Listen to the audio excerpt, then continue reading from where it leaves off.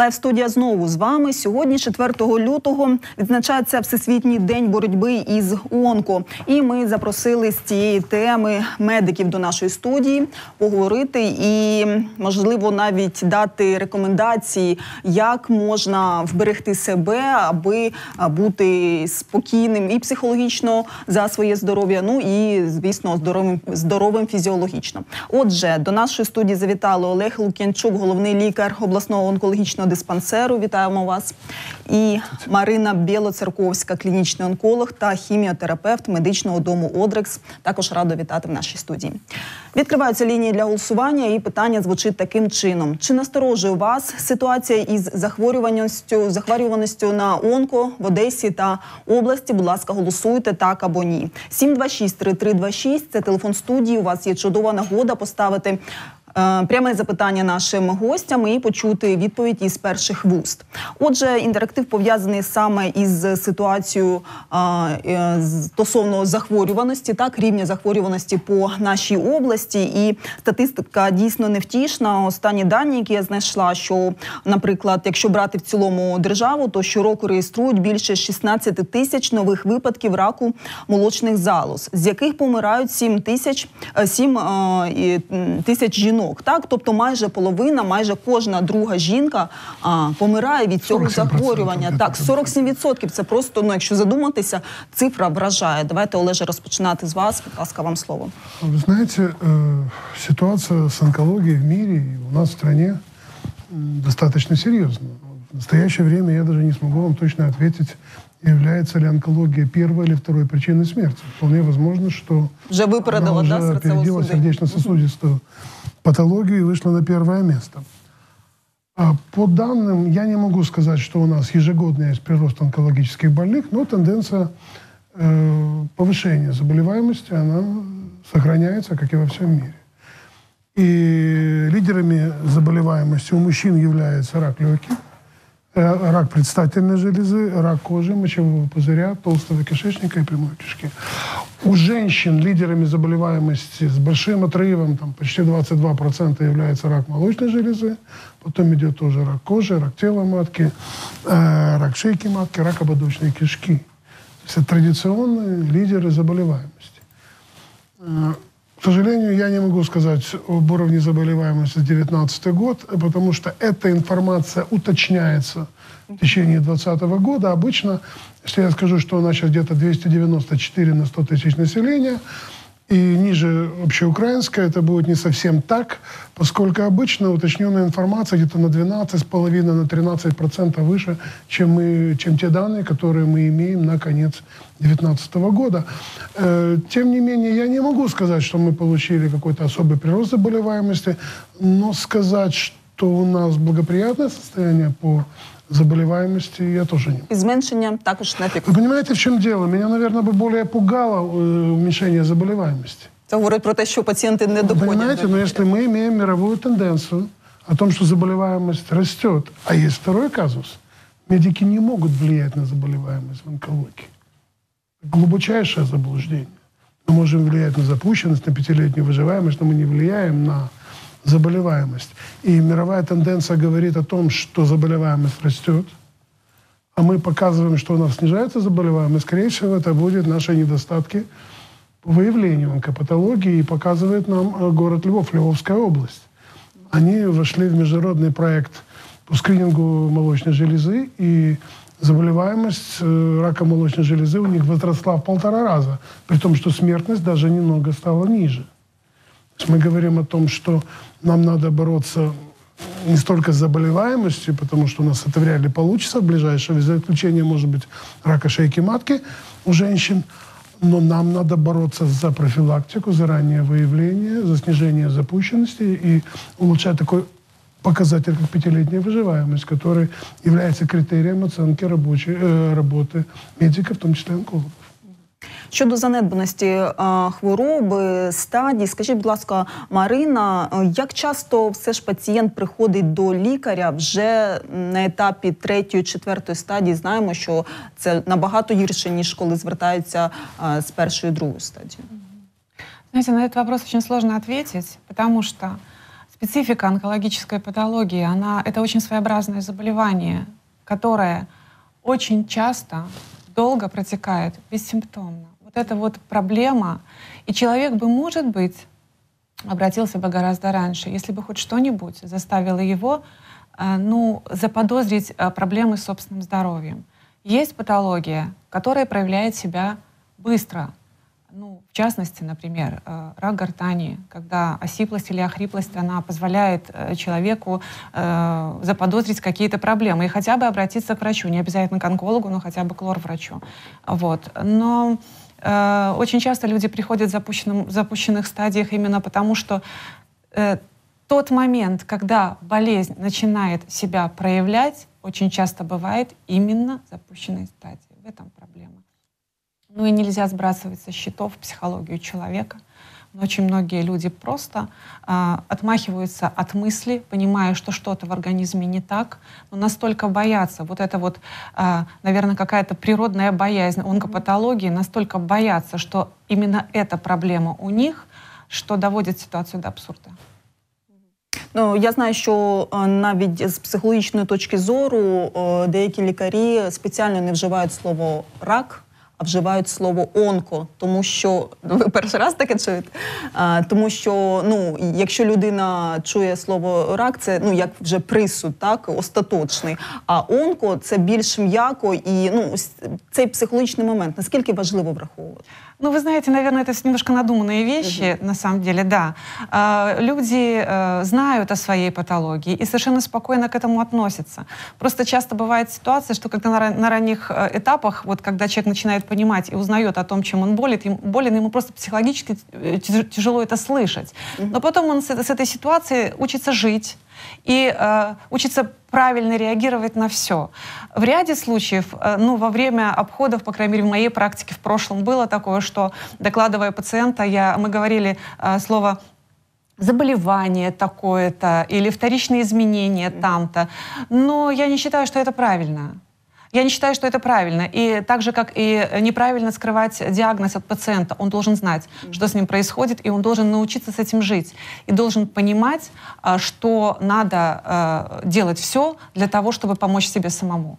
Потому что очень, очень часто люди, не зная, с чем они сталкиваются, просто относятся к этой ситуации, ситуации не совсем серьезно. Так, Олеже, ваша, будь ласка, думка и... Так, давай. А ну, разрешите мне немножечко, ну, я согласен с коллегой uh-huh. в этом, но Э, мне, меня более беспокоит э, другой аспект. Мы говорим о ранней диагностике. Мы ждем о том, что у пациента появятся жалобы, и он обратится к врачу. Но ведь, к сожалению, когда у него появятся жалобы, это говорит уже о том, что история заболевания уже есть. То есть что надо для необходимо для появления жалоб? Прорастание в ткани, поражение нервов, это боли, поражение сосудов, это кровотечение. В целом ряде случаев действительно мы не можем заниматься скринингом. Что такое скрининг? Это не обследование больных, это обследование людей здоровых. Это принципиальное отличие онкопревенции. А, то есть мы не можем ждать, когда появятся эти жалобы, но не во всех заболеваниях это возможно. Мы говорим, что скрининг, профилактика возможна только в случае так называемых визуальных форм.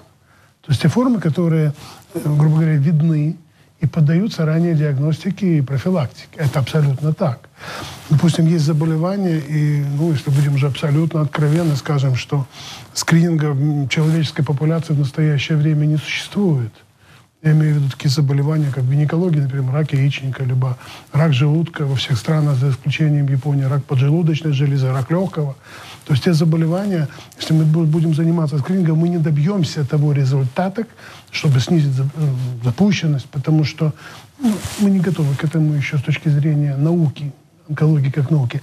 Но при таких заболеваниях, как рак кожи, рак шейки матки, э, рак молочной железы, рак предстательной железы у мужчин и рак прямой кишки у мужчин и женщин, мы можем добиться результата. Нужны скрининговые программы, нужны профилактические программы, национальные, городские, районные. Это сейчас любые программы. Но я думаю, что путь именно в этом, потому что рассчитывать на то, что человек обратится с жалобами, это заведомо говорит о том, что человек обращается уже в запущенной стадии заболевания. Что такое первая стадия? Это когда, ну, чаще всего это когда опухоль находится в пределах органа. Говорить, что вторая стадия не является запущенной при визуальных формах, это в принципе неправильно. Что опухоль распространена и когда-то была пропущена врачом, пациентом. И самое важное, как мне кажется, что, конечно, самое важное, это благодаря вот такому вниманию, за что очень благодарен, нам необходимо менять отношение пациента к своему здоровью. Пациент обязан, гражданин обязан, не пациент, гражданин обязан относиться к своему здоровью как к состоянию и нести ответственность перед собой, перед своими близкими. Должен понимать, что это самое важное, самая основная ценность, и нести за это ответственность. Учитывая, что мы не можем сейчас ожидать каких-то превентивных программ, ранней диагностики, профилактики на государственном уровне, но тогда человек обязан брать на себя. И вы в этом очень нужны, потому что это пропаганда здорового образа жизни, отказ от э, вредных привычек, то есть уровень первичной так называемой профилактики. А человек должен проходить онкопрофосмотр, обращаться в учреждения для того, чтобы их обследовали. Это вторая сторона медалі. Я думаю, це правильно. Але на жаль, така ситуація ну можна констатувати, що якщо людина, наприклад, не має обов'язку кожного року проходити медогляд Конечно. там на роботі, Конечно. так то самому дойти до поліклініки, до е, медичних центрів, так ну не кожен на це зважиться, тому що, по-перше, е, якщо немає симптомів, да людина думає, та я і так здорова і ну чого зайвий раз ходити до лікаря а, а, і витрачати а, гроші, час. Але все ж таки виходить, що і без симптомів так абсолютно здорова на перший погляд людина. Вона має кожного року проходити онкоогляд, так? Так, конечно, безусловно. И тут я абсолютно согласна. И, в общем, поддерживаю каждое слово, которое прозвучало до этого. Здесь э, важно именно изменение психологии человека. Именно это. И никто никогда не заставит человека э, быть здоровым. Этого он должен захотеть сам и должен трепетно относиться к собственному здоровью. Да. И это должна быть инициатива не медработников э, прохождения профосмотров. Это должна быть инициатива человека, самого гражданина. И тогда все будет нормально. Інший момент, вже якщо а, хвороба виявлена, а, є така категорія людей, які ну побоюються мало того, що самої хвороби, захворювання, так ще й лікарів, процедур, тому звертаються до так званої народної медицини. Що б ви сказали з цього приводу? Олеже, давайте ви потім ви, Марина. Вы я считаю, что диагноз злокачественного новообразования – это не приговор. И если пациент обращается в ранних стадиях, у него значительно больше шансов. Но и при любой стадии заболевания, там, где нельзя излечить заболевание, можно улучшить его состояние. А я считаю, что в онкологии лечение должно добиваться двух целей. Первое – это длительная ремиссия или как мы излечение. И второе – это, конечно, общее улучшение состояния. И здесь никакая народная медицина, никакие народные целители не помогут. Нужны специализированные учреждения, там, где есть профессиональные онкологи, Неважно, какая это форма собственности, это государственная, частная, это не имеет значения. Нужны профессиональные онкологи, хирурги, онкохирурги, радиологи, химиотерапевты для того, чтобы правильно поставить диагноз, отработать тактику ведения этого пациента. Это очень важно, потому что операция как самостоятельный метод лечение может быть допустимо в целом ряде только при первой стадии заболевания, когда опухоль не вышла за пределы органа, а в прочих других ситуациях это случаи, случаи лучевого лечения, химиотерапии. И здесь только мультидисциплинарный э, консилиум, установив стадию, может определить тактику ведения этого пациента и снимет те риски, которые связаны с диагностикой, со стадированием и все прочее. Поэтому только специализированные э, э, лечебные учреждения, не говоря уже о народных целителях, это вообще недопустимый факт, должны заниматься онкологическими больными. У нас И є... я очень рад, что у нас есть несколько учреждений, создающих конкуренцию, которым этим занимаются в настоящее у момент. пациента, у людини є вибір, це добре. Я сторонник, э, я не сторонник того, чтобы людей направляли в одно место и оказывали лечение только там. Я сторонник того, чтобы это делало правильно, квалифицированно и тем, кем положено. Маємо дзвіночок від глядача. Давайте послухаємо. Вітаємо вас. Добрий день. Ви в ефірі. Як вас звати? Меня зовут Райк. Так, будь ласка, добрий день ще раз. Говоріть, ми вас слухаємо. Ну, я, как говорится, не вижу, я не вижу, как говорится, вопроса, не слышу. Будь ласка, ви зателефонували до нас до прямого ефіру. Тема а, говоримо з про всесвітній день боротьби проти онко. Якщо у вас є запитання або думка, то будь ласка, висловіть її. Да, здесь что-то такое э, двойная, как говорится, двойная, э, двойной голос говорит. Вы слышите меня, да? Так, ми вас чуємо. Говоріть. Я хотел...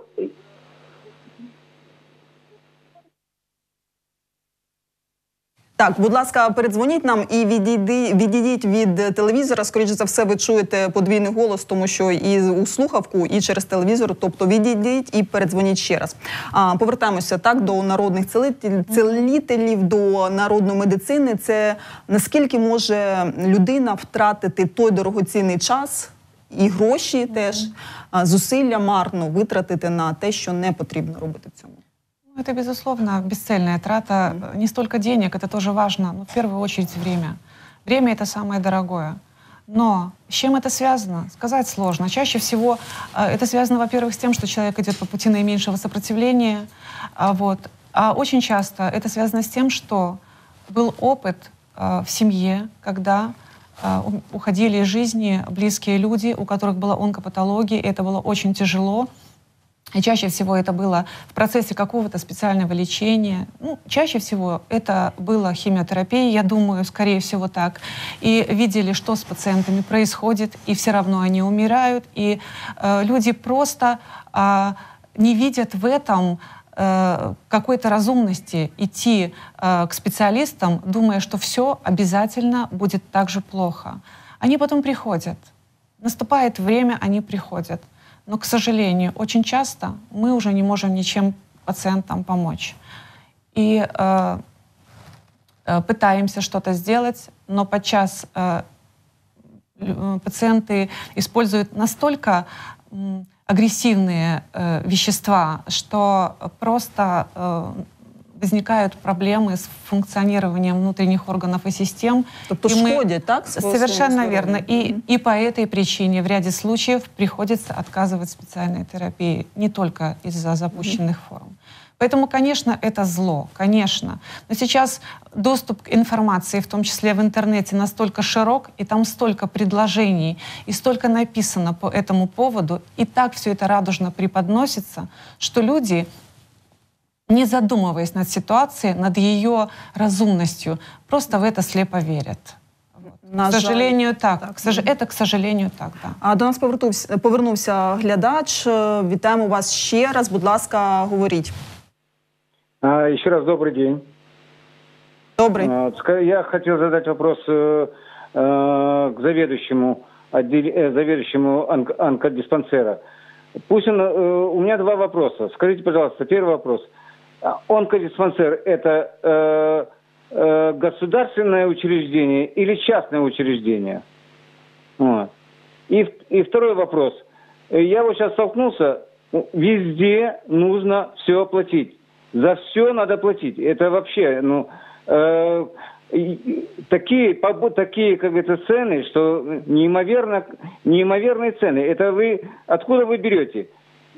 Е, Дякуємо вам. Тобто, давайте пояснимо так, нас державне чи приватне, по-перше, і що входить до безкоштовного переліку послуг, а за що треба заплатити? Смотрите, э, ну, э, мы являемся, м, нашими собственниками, или хозяевами является областной совет. И распорядителем, управленцем является департамент здравоохранения. И я вам хочу сказать, что благодаря областному совету, облгосадминистрации за последнее время мы обеспечены э, химиопрепаратами. И за эти препараты никто ничего не платит. Насколько я знаю, это очень жестко контролируется, и есть телефоны доверия, телефоны обратной связи, и мне не поступала информация о том, что кто-то что-то проплачивал. Да, мы часто предлагаем делать добровольные взносы для того, чтобы закрыть необходимость, допустим, то- точной диагностики, допустим, определения онкомаркеров. У нас недостаточно финансирования до 30% от необходимой суммы по некоторым моментам лаборатории, диагностики. И мы просим делать благотворительный взнос. Но вы знаете, я каждый день сижу на телефоне доверия, и мне не поступало жалоб о вымогательствах, о каких-то вот моментах.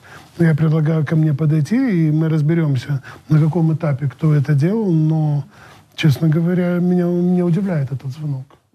Ну, все ж е, дякуємо вам за відповідь. Да, да, так, і конечно. людина, якщо хоче, може звернутися. Конечно, ну, у вас подождите, є мы прийомні открыты, у нас дні, есть телефоны доверия, це есть, працює. я есть мои заместители, и э, я не, в последнее время ко мне не обращались с подобными вопросами. Я удивлен, честно говоря. Давайте повернемося до симптоматики захворювання. А ще такий момент, що дуже часто людина думає, що я ще молодий, я молода, і там до 35, до 40 взагалі не, не думають про те, що може в них щось таке з'явитися злоякісне. Тобто, наскільки ми можемо говорити все ж про омолодження хвороби, що замислюватися треба і в 20 чимось років. А, ну, вы знаете, задумываться надо и в 20 лет. Вы совершенно правы. А, Но я не могу сказать, что омоложение онкопатологии носит какой-то глобальный характер. Это вот отнюдь не эпидемия. А С чем это связано? Наверное, может быть, какая-то тенде- тенде- тенденция, извините, есть. Это может быть связано с тем, я не знаю, щ- что мы едим, что мы пьем, чем мы дышим. Наверное, с этим. Новомодні Ну. всякі засоби да, для І це паління, теж, можливо, да. ще не, і не досліджені. до Да, кінця. но я вам хочу сказать, что сейчас, вот я, например, в своей практике, я четко вижу, что молодые люди, а к молодым людям я отношу э, людей не только 20 лет, я считаю, что 40-50 лет тоже достаточно молодые люди, начинают задумываться о своем здоровье, начинают менять свой образ жизни. Это четкая тенденция. И а, они, люди начинают э, пересматривать вообще подходы в этой жизни. А, другое дело, что сам нас, наш жизненный уклад, уклад такой, стресс и экология, и все это, э, безусловно, имеет очень большое значение. Но люди о себе стали заботиться. Поэтому, э, вот поэтому и нет такого э, такого лавинообразного роста э, э, онкопатологии в молодом возрасте. Ну, наверное, наверное, э, от этого избежать никак не уйдет, не, не, при- невозможно будет, потому что, ну, потому что мы живем в таком мире. Вот он такой. І тут ще згадується той факт, що Одеса потрапила в топ в трійку так міст з найбільшим забрудненням повітря. А, Одеса в топ 3 з українських міст по забрудненістю повітря. Так, а ми цим дихаємо. Тобто, кожен з нас Я даже не знал об виходить этой в групі в информации. групі Интересная ризику. информация. Мгм. Вы знаете, м, я хочу остановиться на двух моментах. Согласен с коллегой, которые для меня очень важны. Первое. Посмотрим, что происходит с населением Украины за последние 10-12 лет. Мы с 1991 года нас стало меньше на 13,5%. Наше население постарело, и мы вошли, э, вышли на 30 место по возрасту. Средний возраст женщин где-то 70, больше 76 лет, мужчины приблизительно на 10 лет старше. Посмотрите, что это за возраст. Это возраст максимального пика онкозаболеваемости. Поэтому, когда говорим о онкозаболеваемых, мы все-таки делаем упор на то, что это одна из геронтологических проблем, что эти проблемы возникают уже в возрасте после 60 лет, и пик заболеваемости приходится именно на этот возраст. Я не могу сказать, что у нас есть э, омоложение онкозаболеваемости. Но, учитывая, что есть общий рост онкозаболеваемости, количество молодых больных с онкопатологией будет тоже увеличиваться. И есть определенная патология, с которой мы э, встречаемся в более молодом возрасте. К сожалению, наверное, коллега тоже знает, больные с раком шейки матки, он есть 22, 23, 25 лет. Молодые женщины с раком яичника, с раком желудка, с раком легкого. Они есть. Да, это не пандемия, это не такой страшный, огромный рост уровня заболеваемости, но эти случаи случаются.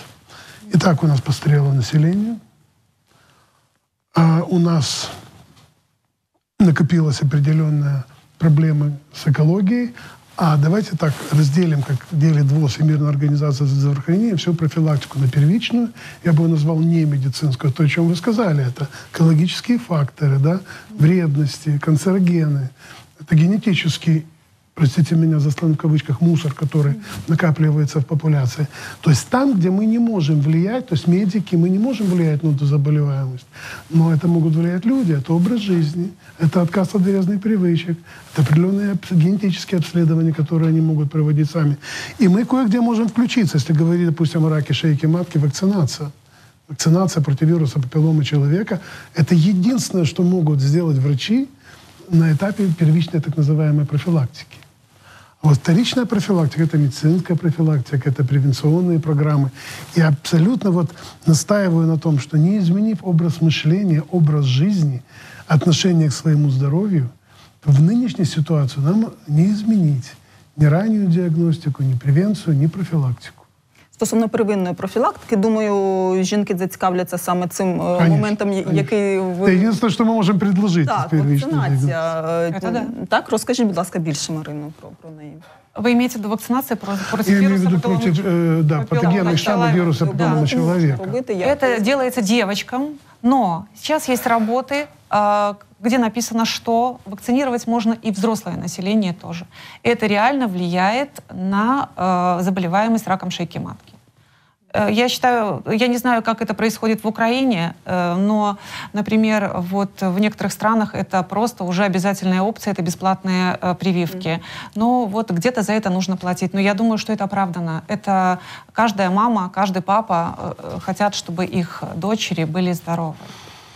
Знаете, это, это да, это, дело в том, что все-таки нет такой достоверной информации о пользе вакцинации в более пожилом возрасте, поскольку все-таки первоначальная значимость этой вакцины – это профилактическое заражение вирусом. Вакцинация девочек и мальчиков с 12 до 14 лет, гадосилом, другими вакцинами, это является очень важным э, Це для да, очень много. підлітків. Э, В некоторых странах, допустим, э, какие-то определенные социальные группы вакцинируют, да, там, где наиболее опасно распространение вирусной инфекции, в которых выше заболеваемость раком шейки матки. Но это надо индивидуально, и, и, так сказать, персонифицировать это лечение. Но то, что это снижает заболеваемость раком шейки матки, это однозначно. Но тут есть еще один фактор риска. Это не исключает цитологического скрининга, это не исключает кольпоскопии, ПАП-теста, то есть это не исключает тех диагностических мероприятий, которые мы предлагаем женщинам. И тут есть опасность.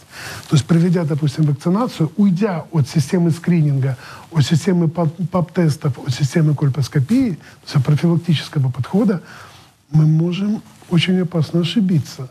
И это может привести не к снижению к заболеванию, а к увеличению заболеваемости. Заспокоїтися так, а насправді Да, то есть треба одно не исключает, а скорее дополняет другого и делает вакцинацию более эффективной при соответствующем цитологическом скрининге. Никто не отменял доктрину, что там, где правильным ПАП-тестом охвачено 80% женской популяции, заболеваемость и смертность, а они очень коррелируют, снижается в два раза. Это уже факты. Е, Щодо питання лікування, звісно, цікаве таке питання, за яких умов е, відсоток успішності в боротьбі з онко буде підвищуватися. Що для цього треба, Марина? Интересный вопрос. Э, Знаете, сложно на него ответить. Наверное, факторов очень много, они разные.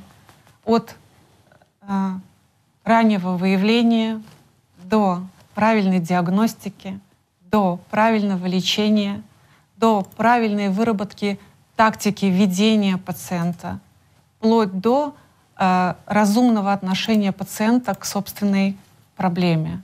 Очень много факторов. На каждом этапе может быть срыв и поломка. И это, к сожалению, заложником этого станет пациент. То есть здесь э, важно, чтобы на всех этапах все было сделано очень правильно. У нас є дзвіночок від глядача. Вірніше, мені підказують, що глядачка до нас дозвонилася. Вітаємо вас. Як вас звати? Леонила меня звать. Я хочу доктору задать вопрос. Очень испугала и удивила. Я в раковом отделении очень много лет проработала, а он говорит, что рак – это вирус. Вызывает вирус рак. Разве это так? Е, е, Питання в тому, що е, глядачка пропрацювала багато років у раковому відділенні, вона сказала. І питання, наскільки я зрозуміла до вас, що е, ви сказали, що рак це вірус. Нет, я сказал совсем не Так, то. давайте по Есть только одна локализация в мире. Это у женщин рак шейки матки, где доказан экологический, э, этиологический фактор рак э, вируса папиллома человека, и немецкие ученые получили за это Нобелевскую премию. То есть с этим э, развитием, это единственное заболевание, где четко связана заболеваемость э, с вирусом папилломы человека. Но я хочу сказать, что этот вирус не передается воздушно-капельным путем, контактным путем, и никакой угрозы онкологические больные, в том числе и с этим заболеванием, э, для окружающих, для медицинского персонала не представляют.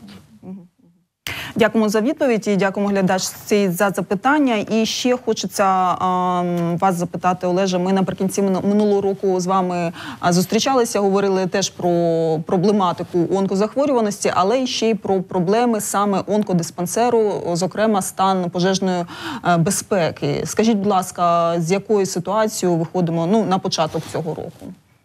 Ну, я очень, опять-таки, благодарен э, госадминистрации, облсовету, которые приняли очень серьезные решения. И огромная эм, работа уже проделана. Сейчас в данный момент устанавливается по- противопожарная сигнализация, проводятся работы по специальной обработке крыш, деревянных конструкций против молний и пожаров. А, Плюс э, те замечания небольшие, их не так много, которые нам были указаны, с гидрантами, с определенными стендами, с огнетушителями. Мы это все выполнили. Я думаю, что в ближайшее время этих претензий к нам, в общем-то, никаких не будет. Да. А для нас это очень важно. Потому что, понимаете, вот если брать онкологию, это огромное э, учреждение, 480-500 коек, и много корпусов, и для нас это имеет огромное, огромнейшее значение. И мне хочется еще сегодня сказать страшную вещь, которую мы очень редко говорим, что, что эм, эм, онкологическая помощь, она относится к самой, одной из самых дорогих помощи в мире. И, к сожалению, она не связана только с хирургией, она связана с химиопрепаратами. Если говорить о химии препаратов, это современные там, моноклональные антитела, таргетная терапия, это десятки, сотни тысяч гривен, там, евро, я не знаю, но это очень дорогостоящее лечение, это зависит не от нас. Лучевая терапия, лучевые современные оборудования стоят десятки миллионов. И э, мир не знает другого пути развития онкологии. Понимаете, о чем идет разговор? Если мы говорим о качестве оказания уже специализированной помощи, мы все равно упираемся в огромные суммы.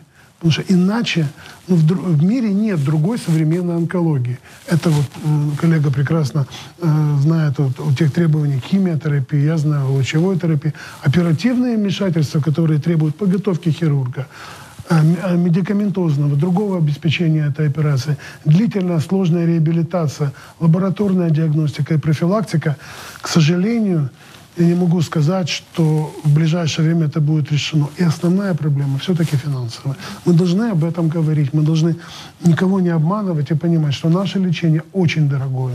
Маємо ще один дзвіночок від глядача. Давайте слухайте. Добрий вечір. Як вас звати? Здравствуйте, меня зовут Сергей. Э, Я хотел бы обратиться к Олегу Валерьевичу. Э, Тут так получилось, что у моей жены случайно был обнаружен рак шейки матки. мы попали к нему. Была проведена м, обалденная операция, самая сложная, которая есть. Э, Потом химиотерапия э, со всеми последствиями. Сейчас э, чувствует себя очень прекрасно, нормально. Я хотел бы выразить, ну, очень большую благодарность людям, которые работают в этом диспансере и помогают людям. Это просто ну, как сказать, э, то, что там деньги, шменьги, то, что говорят, да, за, за- у нас за все нужно платить, как бы. Но то, что они делают, это неоценимо. Неоценимо просто. Э, Большое вам спасибо. Вам дякуємо за дзвіночок. А вы знаете, сегодня такой день, когда мы действительно должны еще сказать очень важную вещь, как бы мне тяжело это не было говорить, а всегда это все-таки... Но этого нельзя стесняться, бояться. И я хочу попросить прощения у наших пациентов. К сожалению, что не всегда мы можем в полной мере оказать ту помощь, которой они достойны.